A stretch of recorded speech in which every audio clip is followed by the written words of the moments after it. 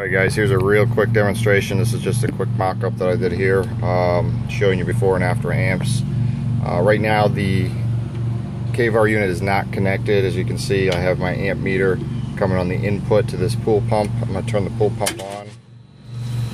And we are going to be reading approximately 9.3 for amps going to the pool pump and I'm gonna pause this for a minute and I'm gonna hook up the KVAR unit. We're gonna keep the meter right in the same exact place and see what we're running for amps.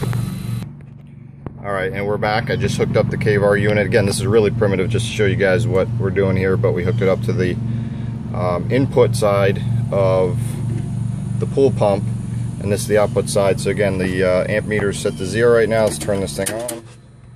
And if you recall, we were at 9.3 the last time and if you can see that without the glare we are currently running at a 7.55 which is um, just under a 2 amp difference by hooking up this unit. So what we're going to do is just keep this here for a billing cycle and see how much savings we have